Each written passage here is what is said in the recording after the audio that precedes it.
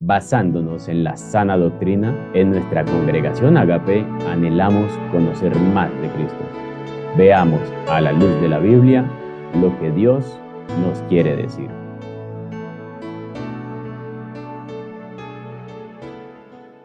Estamos ubicando en nuestras Biblias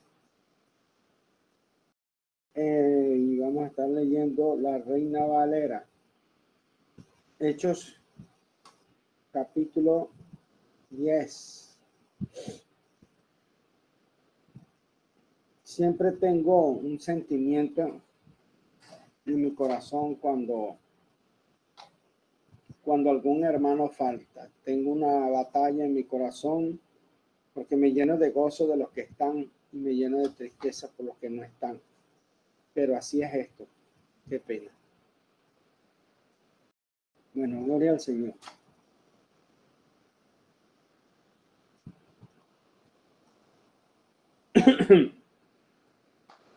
Leo con la bendición, la autoridad y el respaldo del Padre, de Jesucristo, el Hijo y del Espíritu Santo. Amén. Dice así.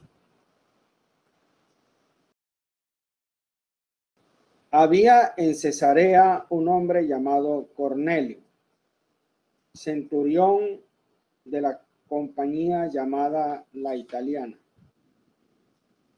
piadoso y temeroso de Dios con toda su casa y que muchas limosnas y que hacía muchas limosnas al pueblo y oraba a Dios siempre.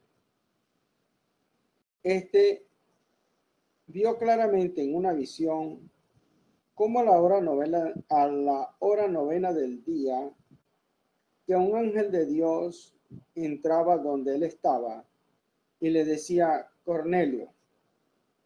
Él mirándole fijamente y atemorizado, dijo, ¿qué es, Señor? Y le dijo, tus oraciones y tus limosnas han subido para memoria delante de Dios. Envía pues ahora Envía pues ahora hombres a Jope y haz venir a Simón, el que tiene por sobrenombre Pedro. Este posa en casa de cierto Simón curtidor, que tiene su casa junto al mar. Él te dirá lo que es necesario que hagas. Bueno, hay mucha información aquí. Eh, Cornelio, un hombre que em, es obvio que había escuchado de Dios, pero no era un, un hebreo, no era un israelita.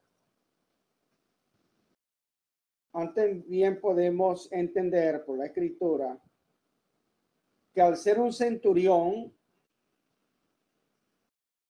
no podía ser un centurión si no tenía ciudadanía romana. Entonces, lo primero que encontramos en Cornelio, que es un hombre que tiene poder, es un hombre de autoridad, es un hombre que tiene, que es influyente al, al tener a cargo 100 hombres que ahí está identificada como la italiana, podemos entender que era un hombre de poder, hombre de autoridad y que por lo menos eh, se hallaba cómodo económicamente. Pero como cosa extraña, este centurión dice la escritura que era piadoso, es decir, practicaba la piedad. Cosa que, por cierto, si a nosotros se nos pide en las cartas de Pablo que nosotros seamos practicantes de la piedad. Ahora vean el testimonio de este hombre. ojo, no era cristiano. No era cristiano. era piadoso. También era temeroso de Dios. Tenía temor de Dios. Es decir, este hombre había escuchado de este Dios al que adoramos tú y yo, al Dios de Abraham, de Isaac, de Jacob, de los patriarcas. Y ya en, este hombre se había cuajado en él un temor a este Dios. ¿Cómo logró eso Cornelio sin el Espíritu Santo? Es decir, si no era cristiano, no tenía el Espíritu Santo. ¿Cómo logró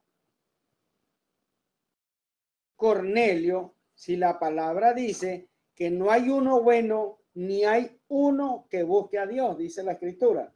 ¿Cómo lo logró? Si usted lee eso, usted debería haberse preguntado en algún momento, ¿cómo hizo esto Cornelio?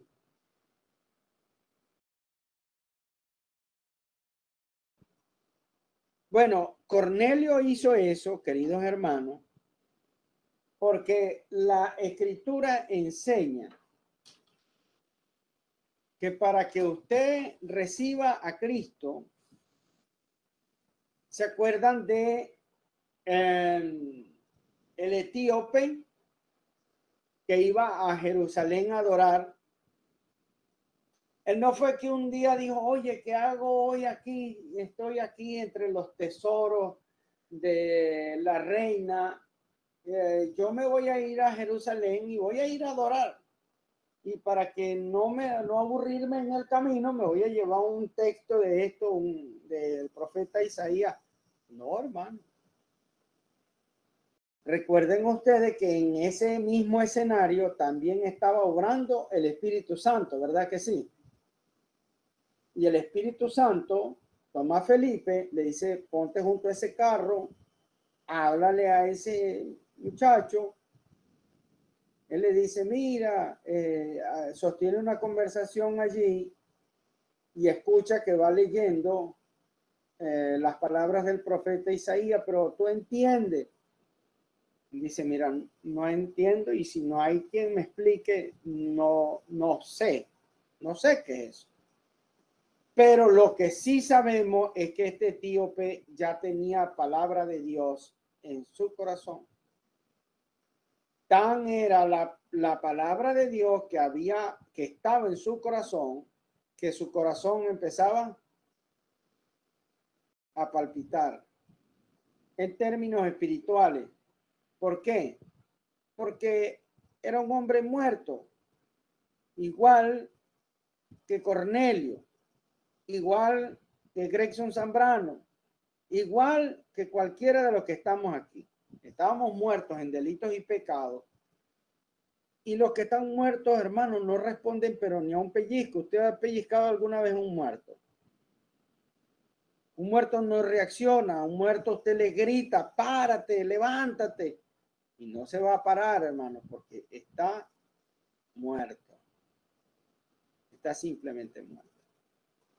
Entonces tiene que venir una obra del Espíritu Santo que empieza a preparar el corazón de la persona. Así como el etíope fue preparado, por eso la palabra dice que unos siembran, otros riegan y Dios recoge la cosecha, ¿verdad que sí? Dios da el crecimiento y recoge la cosecha. Eso era lo que estaba pasando con Cornelio. Cornelio había escuchado de este Dios. Y el Espíritu Santo empezó, le dio vida al Espíritu. Y empieza,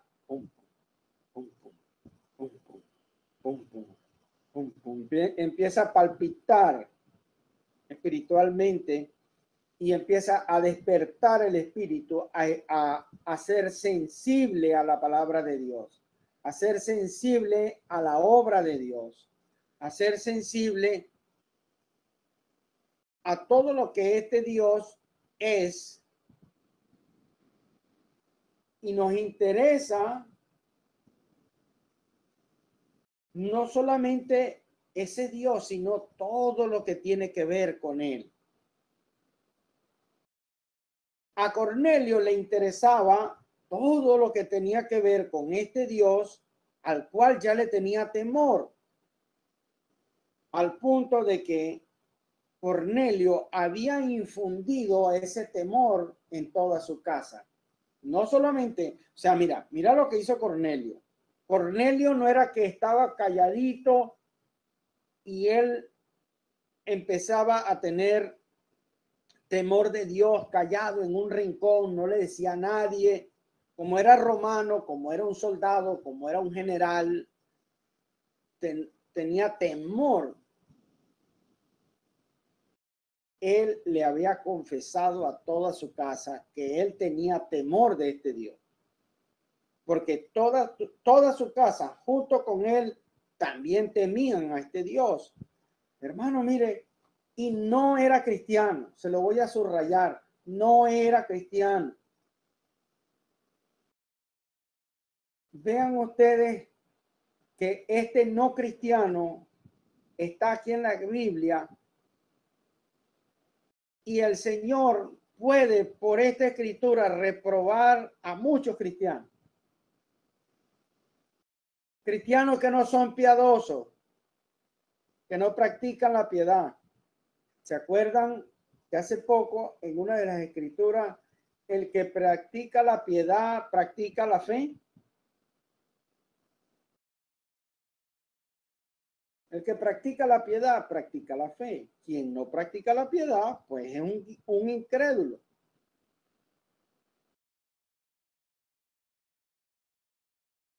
Entonces, y también se dedicaba a que su casa conocieran de este Dios a quien él, con el que él ya tenía una relación, aunque Dios no le respondiera. Pero sin embargo, le interesaba la gente, la gente que amaba a ese Dios. A Cornelio le interesaba la gente que profesaba ese Dios. Y dice, y hacía muchas limosnas al pueblo y oraba a Dios siempre. Es evidente que el Espíritu Santo había hecho algo en Cornelio.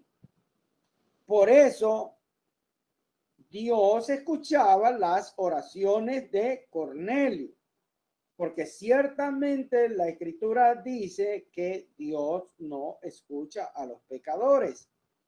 Y aunque Cornelio era un pecador, pero había en él un despertar espiritual que no lo pudo haber logrado por sí mismo ni por mérito solo, sino porque el Espíritu de Dios había insuflado vida en el espíritu. Entonces, Dios vio como Cornelio, practicante de la piedad, temeroso y amante del pueblo de Dios, y que mantenía una comunión con Dios por medio de la oración, hermano, estamos hablando de un no cristiano. ¿Cuántos cristianos pudieran decir que tienen este mismo testimonio de Cornelio? Entonces dice la escritura, versículo 3. Este vio claramente en una visión como a la hora novena del día que un ángel de Dios entraba donde él estaba y le decía, Cornelio. Pregunta, ¿saben los ángeles tu nombre? ¿Te conocen los ángeles por tu nombre? ¿Dios te conoce por tu nombre? Sí, te conoce por tu nombre. Edwin, Vanessa, Samira, Maisun, Analini, Marili, etc. ¿Nos conoce? Claro que sí, conocía a Cornelio. Cornelio, él mirándole no era un fantasma, era un alguien manifiesto allí. Mirándole fijamente y atemorizado dijo, ¿qué es, Señor? Y le dijo, tus oraciones y tus limosnas. ¿Por qué Dios no dijo solamente tus oraciones, sino que también incluyó las limosnas. ¿Por qué las incluyó? Las incluyó, le voy a decir por qué las incluyó, porque son importantes. Porque Cornelio practicaba la piedad. Cornelio con sus acciones, más que con sus palabras, le, decían al Señor con sus hechos, más que con sus palabras, porque ustedes saben, Jesús llegó a decir de muchos que eran pueblo de Dios que decían, él, les decía, este pueblo de labios me honra, mas su corazón está lejos de mí. ¿Por qué? Porque sus obras no eran justas. Sus obras no estaban llenas de misericordia. No había justicia en su proceder. Y Cornelio no se movía como una persona que estaba pagando impuestos. Estaba siendo un generoso, un bondadoso. Estaba practicando la benignidad, gloria a Dios, y entonces Dios vio que su corazón era honesto, era sincero, cosa contraria de lo que le pasó a Simón. Simón, su corazón estaba lleno de codicia. Ananía estaba lleno de codicia. Zafira estaba lleno de codicia. Judas estaba lleno de codicia. Pero Cornelio no, y no era cristiano. No era cristiano. Entonces, junto a las oraciones, el Señor unió algo muy importante del testimonio de Cornel. Tus oraciones y tus limosnas, tus dádivas, buenas obras, han subido a la memoria de Dios, delante de Dios. Y dice, envía pues ahora hombres a Jope, una ciudad, y haz venir a Simón, porque así se llamaba el apóstol Pedro, antes de que Jesús le cambiara el nombre, se llamaba Simón. Para que usted se entere, nuestro libertador terrenal, Simón Bolívar, tenía un nombre hebreo llamaba Simón. Pedro, Simón. Entonces, y le dice, haz venir a Simón, el que tiene por sobrenombre Pedro. A Pedro era un apodo que Jesús le puso a Simón y fue conocido más por el apodo que por el nombre. Dice, este posa en casa de cierto Simón Curtidor, o sea que habían Simones por montones. ¿Verdad que sí?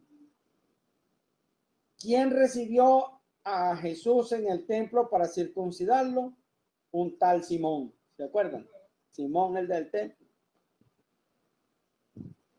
Este posa en casa de un cierto Simón Curtidor que tiene su casa junto al mar. Él te dirá lo que es necesario que hagas. O sea, que Cornelio recibió unas instrucciones porque Dios mismo estaba preparando un escenario. No le dijo que solamente ve, tú haz, y haz esto. Cornelio no dijo, bueno, me volví loco. Mira, me llegó, porque él tenía si envió hombres a Jope, tenía que contarle qué le había pasado, ¿verdad? Y me imagino yo que en esa conversación de Cornelio con aquellos hombres que enviaba de Cesarea a Jope, le digo, mira, yo estaba orando. Ustedes saben que yo siempre oro a Dios y todo esto, al Dios de los israelitas. Yo le oro, yo que, no sé, hay algo ahí, no sé, eso que ellos hablan de ese Dios, no sé, hay algo que me, que me estremece, que me toca. Y estaba orando yo y de repente eran como las tres de la tarde y, y, se me apareció un, ángel, hermano.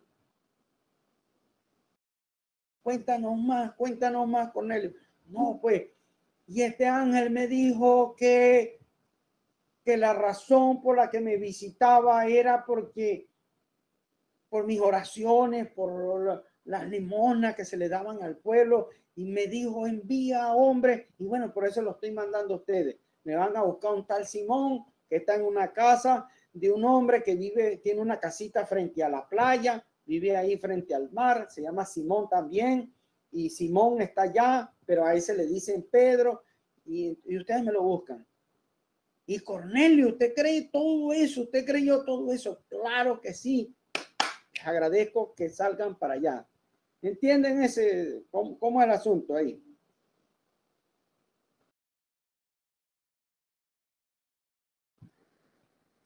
Entonces, el versículo 7 dice,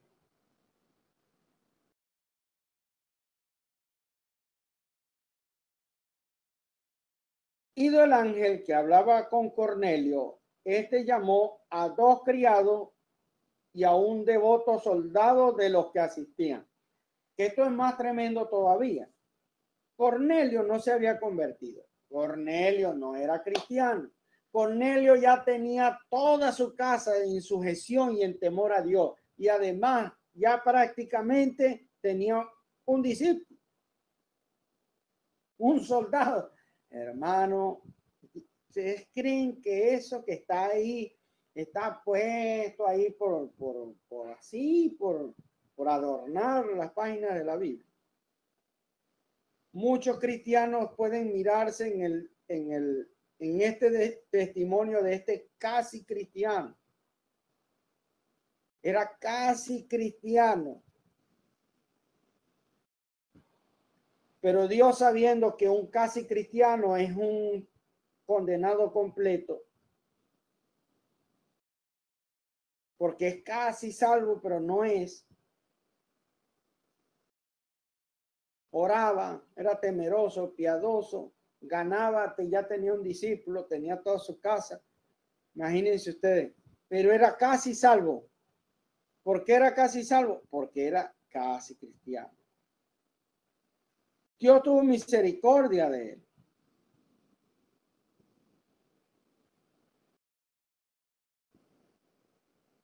Entonces, dice la escritura,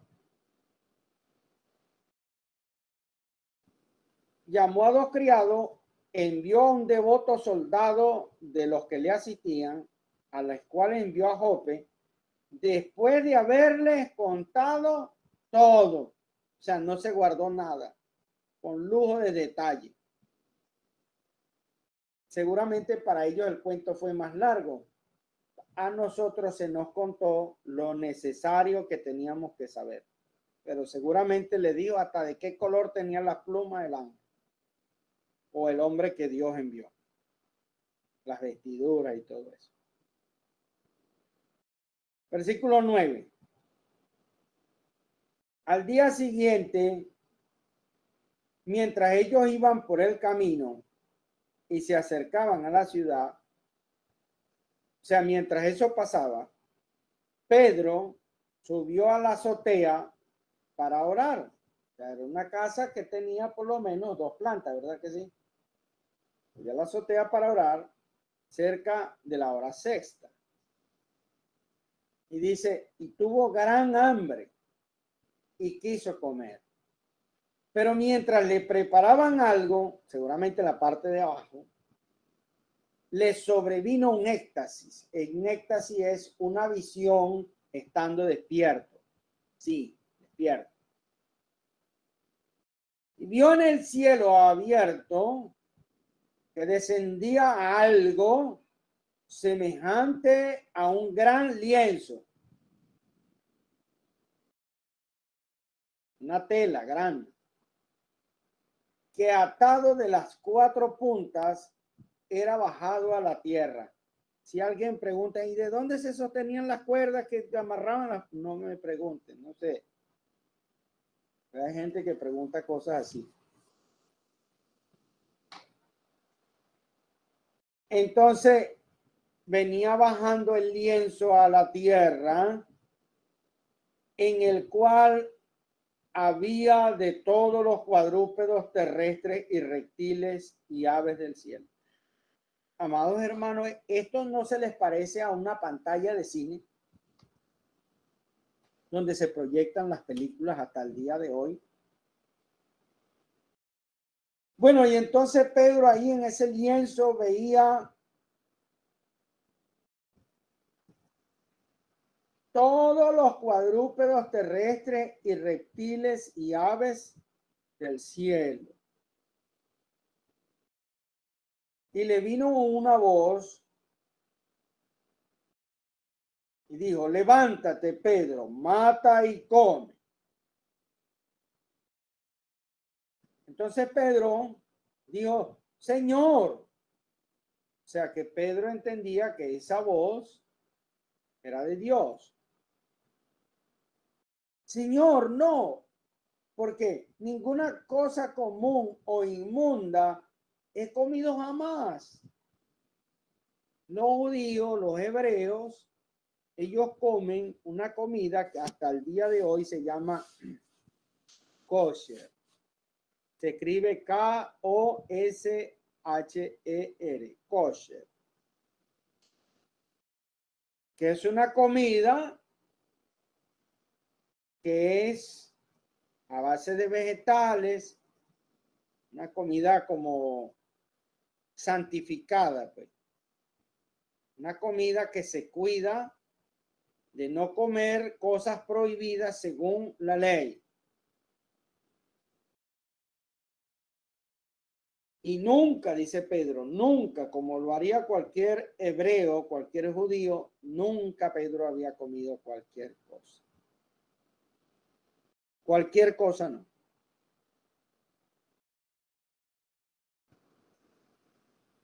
Volvió la voz a él segunda vez y lo que Dios limpió, no lo llames tú común. Esto hizo tres veces y aquel lienzo volvió a ser recogido en el cielo, o sea, no sé, se enrolló y se desvaneció, desapareció. Y mientras Pedro estaba perplejo dentro de sí sobre lo que significaría la visión que había visto. O sea, ¿qué rayos significa esta visión? Y lo que me dijo la voz. O sea, que me dice, primero me dice mate come. Me lo dijo tres veces y yo tres veces le respondí, bueno, yo no he comido cosa inmunda. Y él dice, lo que yo limpié, lo que yo limpié, no lo llames tú. Y mientras Pedro estaba, eh, entonces dice, ¿qué significaría la visión que había visto? He aquí los hombres que había visto, he aquí los hombres que habían sido enviados por Cornelio, los cuales preguntando por la casa de Simón, llegaron a la puerta y llamando preguntaron si allí si moraba allí un Simón que tenía por sobrenombre Pedro. Obviamente no el dueño de la casa, eran dos Simón. El Pedro, aquel Simón se, llamaba Pedro. Y mientras Pedro pensaba en la visión, el Espíritu Santo le di. ¿Eh? El Espíritu Santo es una persona. Eh, hermano, la única forma en que encajan todas estas cosas sin forzar las escrituras y sin tener que caer en explicaciones ajenas y externas y extrabíblicas para que encuadren como hacen algunas sectas por allí, si tú te apegas a la escritura creyendo que el Espíritu Santo es alguien más de la Trinidad de Dios, no tienes por qué caer en, en cosas que no enseña la Biblia. Entonces el Espíritu Santo le dijo, he aquí tres hombres te buscan. Era un soldado y dos criados de Cornelio. Levántate, pues, y desciende, y no dudes de ir con ellos, porque yo los he enviado. Era muy importante que em, Cornelio, eh, perdón, Pedro conocía al Espíritu Santo porque ya Jesús le había dicho es necesario que yo me vaya y venga el otro consolador, recibirán poder cuando haya venido de lo alto el, Espíritu Santo y ya había pasado todo aquello del Pentecostés y habían pasado otras cosas por allí. Entonces, eh, este, en la ciudad en las tres ciudades que Pedro visitó y se convertían la gente por montones, después que salieron de Samaria, el, Pedro conocía al Espíritu Santo. Y el Espíritu Santo, mira, con este, Pedro, no, porque Pedro cuando los viera, se iba a dar cuenta, uno, venía un soldado romano, número dos, venían enviados cuando le dijera, mira, venimos por órdenes de un general este, Pedro iba a decir, si, si el Espíritu Santo no le dice eso, dice, mire, yo de verdad, yo lo siento mucho, pero yo no puedo estar con gente, con pagano, porque Pedro, que todavía con esa mentalidad judía, pensaba que se iba a contaminar si estaba con ellos, si andaba con ellos. Entonces el Espíritu Santo, no temas de ir con ellos porque yo los he enviado. Yo fui el que los envió. Ah, de manera que ellos tocando la puerta abajo, Pedro arriba en la azotea, cuando Pedro bajara y hablara con ellos, no hacían falta mucho las explicaciones, porque ya Pedro sabía por qué estaban allí.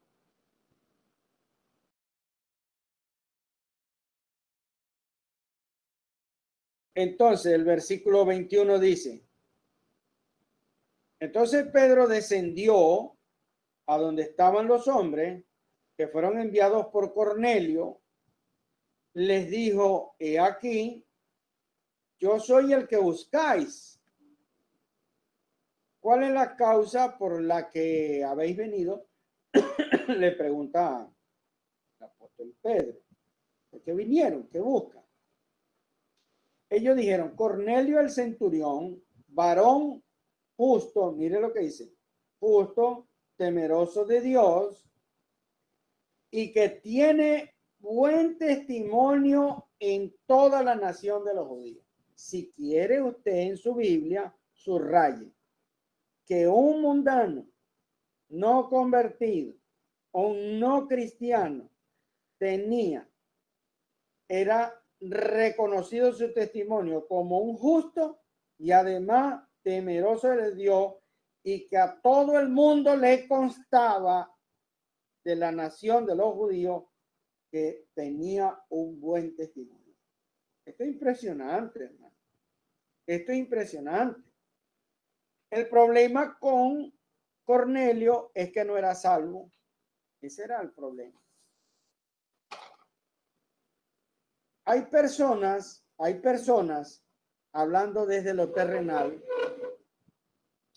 que si Cornelio se hubiese muerto, si Cornelio se hubiese muerto sin esta visitación del el apóstol Pedro a la casa de Cornelio, que lo vamos a leer a continuación, y si no hubiese pasado las cosas que pasaron en la casa de Cornelio, y Cornelio muere, la gente dice, no, ese un alma de Dios, ese, mire, era temeroso de Dios, oraba, eh, tenía buen testimonio. Aquí todos nos contes, era un pan de Dios. Ese le da limosna a los pobres, este, bueno, etcétera, etcétera. Y la gente, por, por ellos, hubiesen dicho que él era salvo. Hubiesen dicho, no, así, es más, más cristiano que muchos por ahí que, que, que son seguidores de Jesús. ¿No le parece?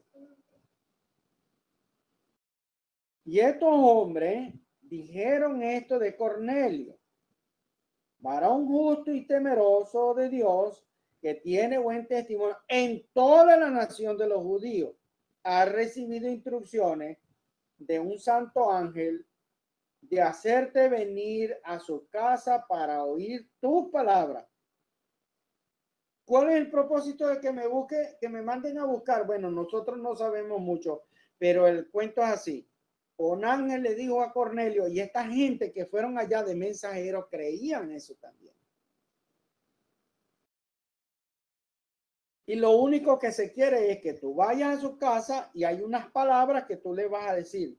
¿Cuáles palabras? No se sabe, pero si es necesario que tú vayas y hables allá.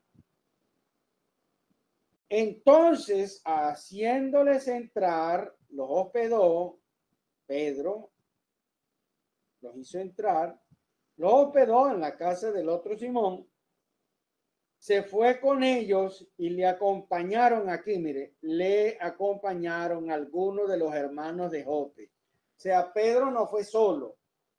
Entonces, vinieron tres y aquí para allá con Pedro eran cuatro y unos hermanos que no dice cuántos, pero suponga que fueran unos tres o cuatro más, iban como aproximadamente unos nueve personas o tal vez más. Se fueron. Al otro día entraron en Cesarea, o sea, eso se tardaba, y Cornelio los estaba esperando, habiendo convocado. ¿A quién convocó Cornelio? Vamos a ver. A sus parientes, sus familiares y amigos más íntimos. ¿Se da cuenta? Cuando nosotros oramos para que se conviertan las almas, ¿por quiénes oramos nosotros? Bueno, por todas las almas, porque Dios quiere que todas las almas se salven. Pero primero oramos por nuestros parientes y nuestros amigos más íntimos.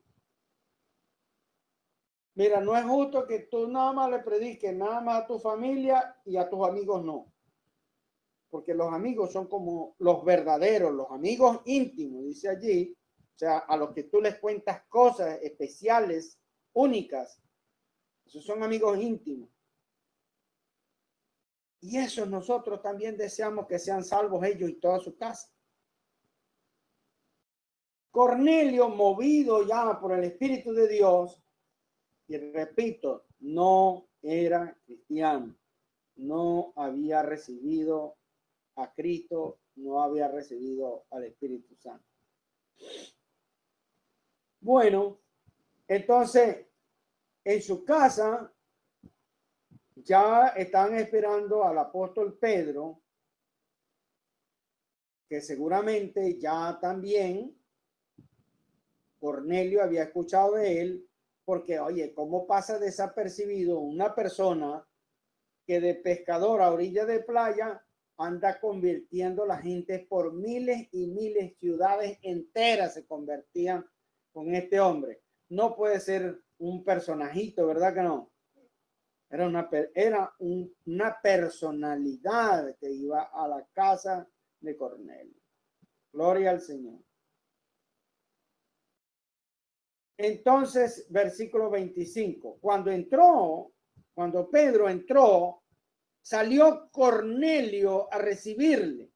Mire lo que dice y usted puede subrayar ahí en su Biblia. Y los hermanos que estén escuchando en todas partes del mundo, donde quiera que Dios lleve este mensaje, usted puede subrayar este pasaje bíblico. Y postrándose a sus pies, adoró. O sea que en el corazón romano porque creemos que este centurión de ciudadanía romana, evidentemente en él estaba, dentro de él estaba esa cultura. Y vio a Pedro y fíjese todo lo que hacía, ¿verdad?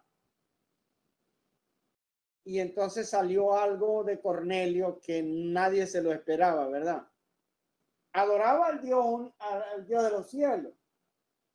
Y había buen testimonio de él, pero cuando vio a Pedro se le tiró en los pies y lo adoró. Así son los idólatras y así son los paganos. ¿Y qué dijo Pedro? Muy bien, muy bien, Cornelio. Tú sabes que yo soy el primer papa de la iglesia, de la iglesia católica romana. ¿Será eso lo que le respondió Pedro? Así está muy bien, muy bien. ¿Quién más?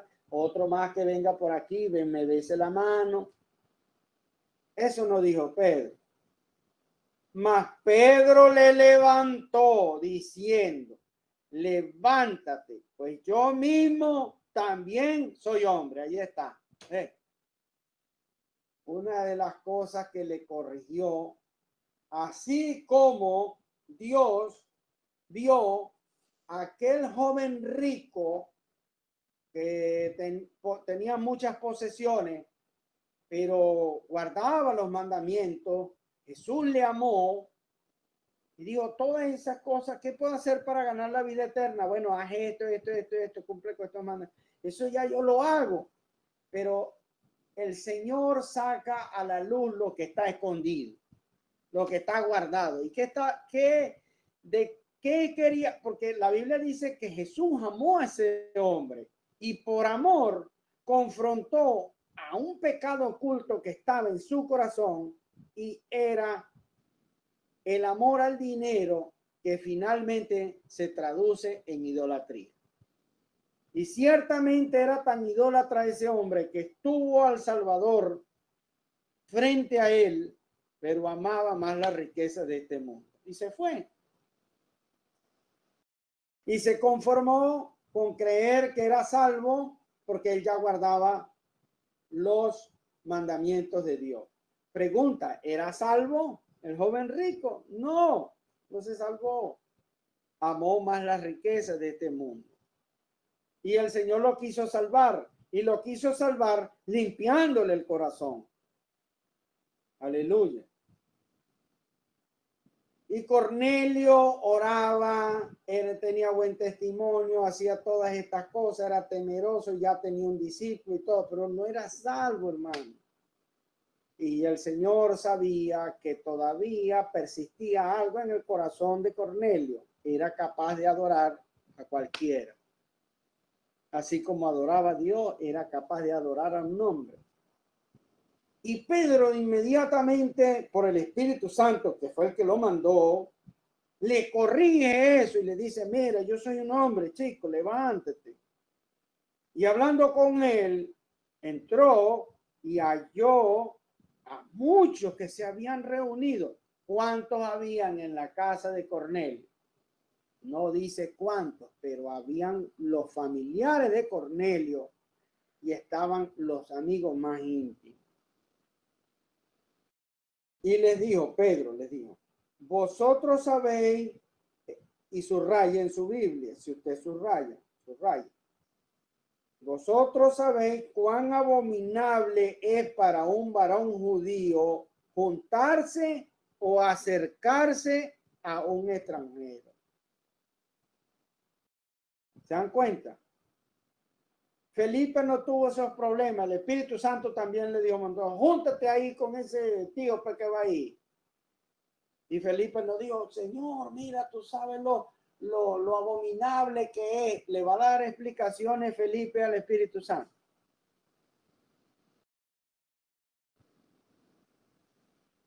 Entonces está Pedro dando la explicación.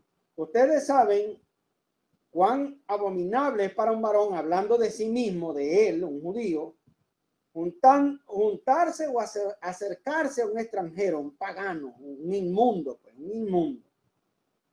Pero a mí me ha mostrado Dios que a ningún hombre llame común o inmundo. Eso era lo que significaba la, la visión.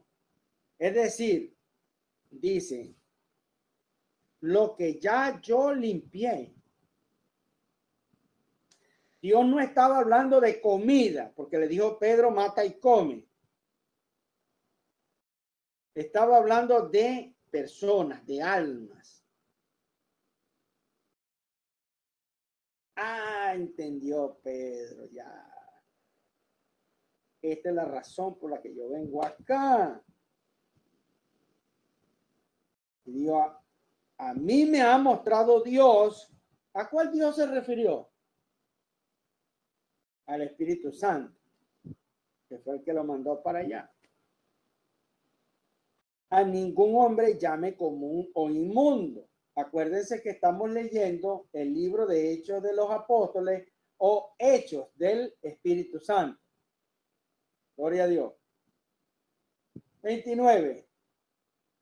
Por lo cual, al ser llamado vine sin replicar, porque él sabía que le había hablado el Espíritu Santo. Así que pregunto, ¿por qué causa me habéis hecho venir? Todavía ahí el apóstol Pablo, perdón, Pedro, le faltaba como que el clic, o sea, ¿por qué me habéis hecho venir? A pesar de las palabras que había pronunciado antes. Entonces Cornelio dijo, hace cuatro días que a esta hora yo estaba en ayunas. ¿Qué estaba haciendo él? Estaba ayunando, hermano. Imagínese usted el testimonio de este hombre. No era cristiano, repito. Ayunaba, oraba, ofrendaba, era temeroso, predicaba, tenía discípulos. Todos toda su casa, era, era piadoso. Imagínate. Se moría, se moría Cornelio. Ay, vuela alto, fueran dicho. Vuela alto, Cornelio. Todo el mundo sabemos aquí quién eras tú. No, hermano, es que no es así. No es como tú dices ni como yo digo, es como Dios dice, como Dios enseña la escritura. ¿Cuántos dicen amén? Gloria a Dios, hermano porque para eso es que nosotros leemos así, con mucha sencillez, con humildad, leemos las escrituras y, vemos, pues, porque todavía Pedro ahí está, bueno, como para qué será que el Señor me está mandando para acá? Bueno, Pedro, mira, te voy a echar el cuento. Ajá, entonces Cornelio en el 30. Hace cuatro días que eh, a esta hora, o sea, llegó más o menos a la misma hora en la tardecita, yo estaba en ayuna y a la hora novena, mientras oraba en mi casa, vi que se puso delante de mí un varón con un vestido resplandeciente. No dice de alas ni de pluma, dice vestido. Los ángeles no tienen alas, hermano. Entonces, con un vestido resplandeciente, y dijo, Cornelio, tu oración ha sido oída y tu limona han sido recordadas delante de Dios. Está repitiendo Cornelio lo que le dijo el ángel. Envía pues a Jope y haz venir a Simón, al que tiene por sobrenombre Pedro, el cual mora en casa de Simón, un curtidor junto al mar. Cuando llegue, él te hablará. Eso fue lo que me dijeron. Así que luego envié por ti y tú has hecho bien en venir. Ahora pues, todos nosotros estamos aquí en la presencia de Dios. Mira, dice. Este, este hombre sí es verdad que lo que estaba lo que se llama a punto de caramelo. Estamos aquí en la presencia de Dios. Mire, no era cristiano, escuchen bien, no era cristiano, no había recibido el Espíritu Santo y Cornelio no estaba en la catedral de Notre Dame, no, no estaba allí, estaba en su casa, probablemente en el porche, no sé si tenían garajes o ese tipo de cosas, ¿verdad? Pero estaba en su casa, en la sala, y, y Cornelio creía literalmente que estaban delante de la presencia de Dios. Qué maravilla. ¿Cuánto dicen amén? Ahora, hermano, tú que estás allí ¿Estás creyendo realmente que tú aquí estás en la presencia de Dios? Que ahí en tu casa, como en la mía, aquí, aquí mismo, ahorita, en este instante está Dios. Cornelio lo creía y no era cristiano.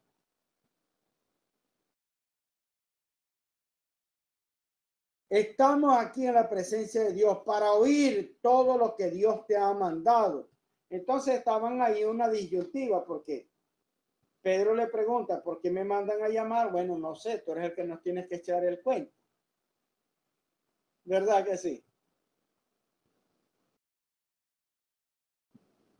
Entonces Pedro abriendo la boca dijo, en verdad comprendo que Dios no hace acepción de personas. Eso fue buenísimo porque esto lo vamos a ver en el capítulo 11 y lo vamos a ver en el capítulo 15 de este libro, porque Dios usa al apóstol Pedro para hacerle saber que Dios no tiene como favorito al pueblo judío o los israelitas.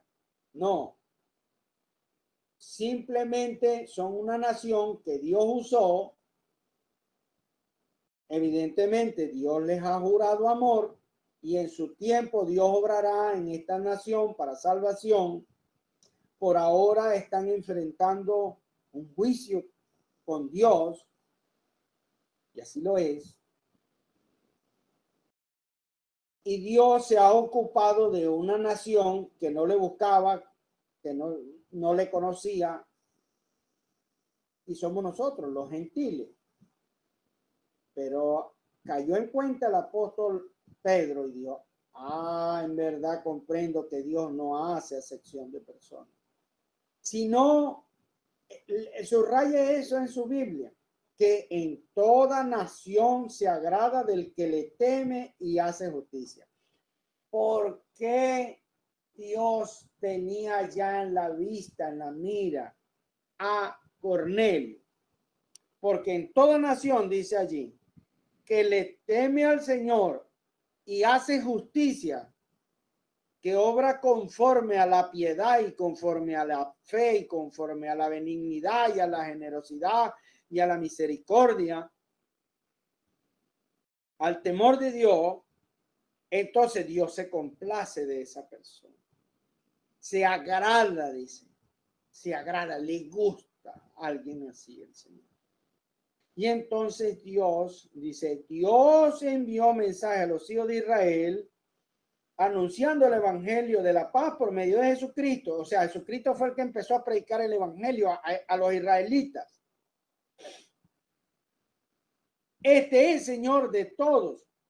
Dice, vosotros sabéis lo que se divulgó por toda Judea, comenzando desde Galilea, después del bautismo que predicó Juan,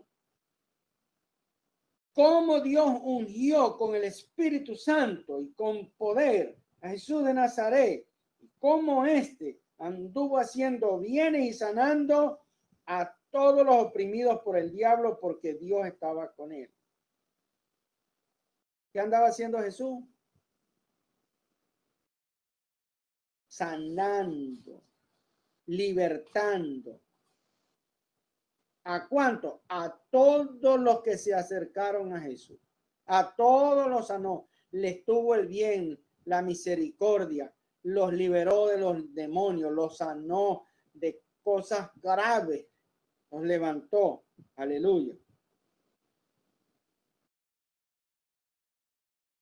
Y dice que muchos de ellos los oprimía Satanás. Satanás lo tenía cautivo como tenía cautivo Simón, por cierto. Y nosotros, dice Pedro, nosotros somos testigos de todas las cosas que Jesús hizo en la tierra de Judea y en Jerusalén. Nosotros lo vimos. A quien mataron colgándole en un madero. A este levantó Dios al tercer día e hizo que se manifestase. Gloria a Dios. No todo el pueblo, dice, no todo el pueblo, sino a los testigos que Dios había ordenado de antemano, a quienes había ordenado, o mejor dicho, a quienes había constituido a los apóstoles. O sea que no, el, el Señor no se le manifestó a todo el mundo, sino que fue y buscó a sus discípulos.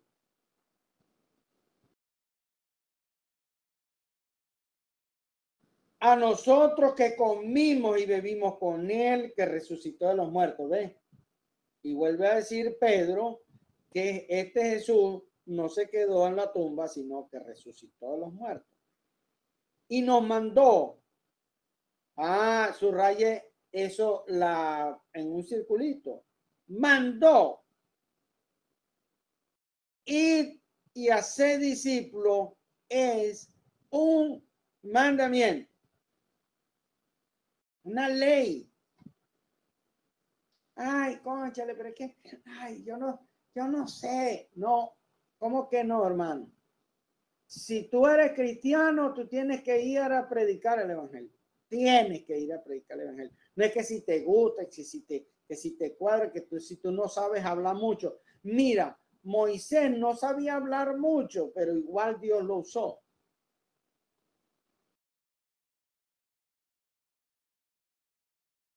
Y dice,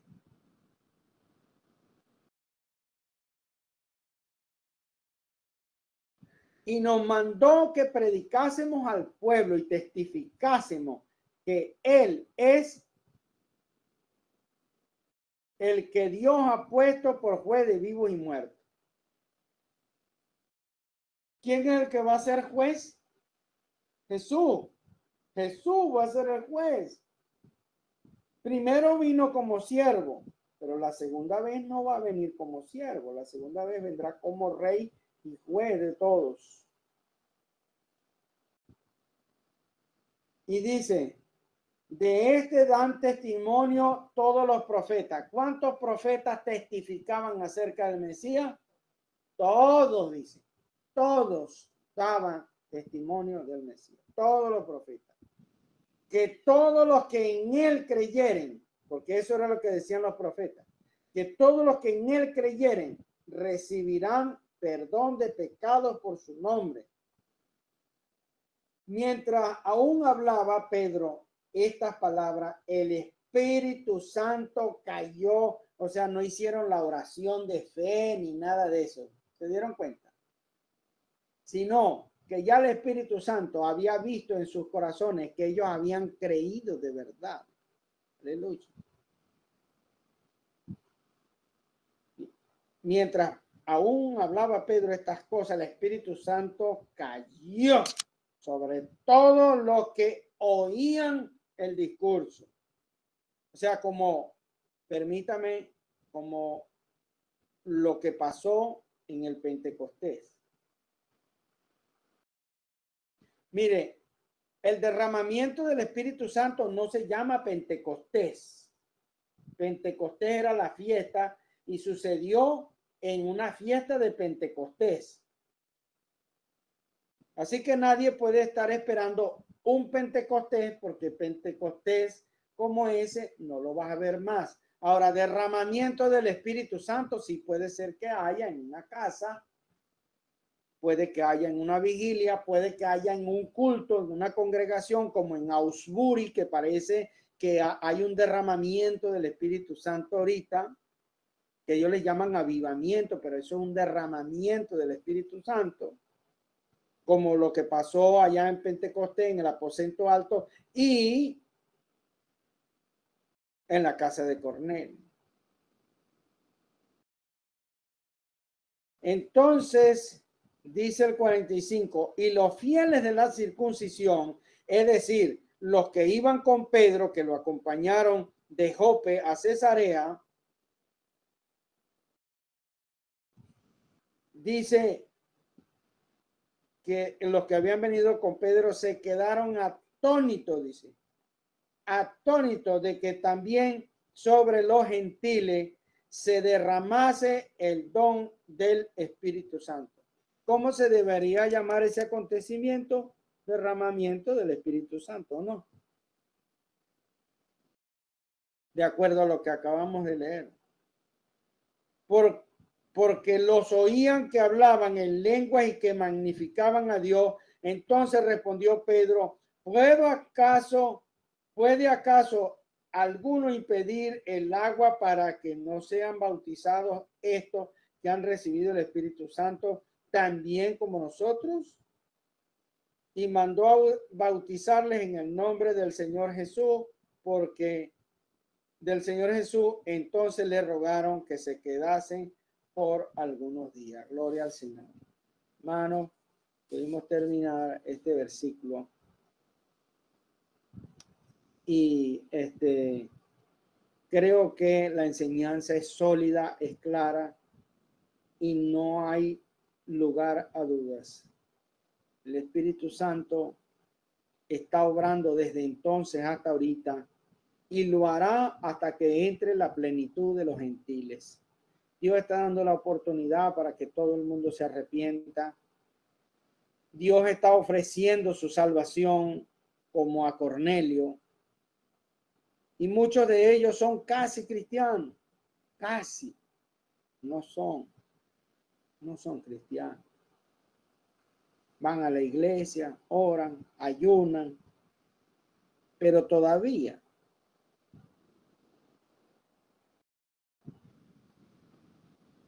el Espíritu Santo, a pesar de, que les convence de pecado, les remueve la conciencia, se las sacude, se las atormenta, no han procedido a arrepentirse, hermano.